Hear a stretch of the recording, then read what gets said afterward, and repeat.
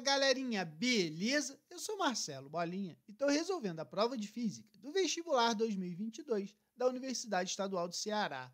Eu vou fazer agora a questão número 3 da prova da segunda fase.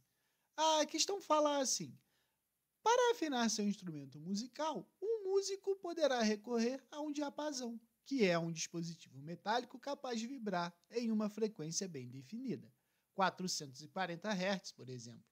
Enquanto o diapasão emite o som, o músico começa a tocar a corda do seu instrumento simultaneamente. Ao ajustar a tensão da corda, este altera a afinação do seu instrumento com o intuito de tentar aproximar as duas frequências. Durante o processo inicial de afinação, a diferença verificada entre as frequências está associada ao fenômeno de. Então, esse fenômeno que, que o problema está citando é chamado de batimento sonoro e ele vai ser determinado pela diferença das frequências. Então, a gente sabe que é o batimento sonoro, letra B.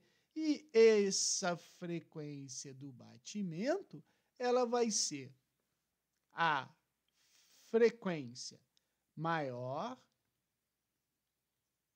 menos a frequência menor. Beleza?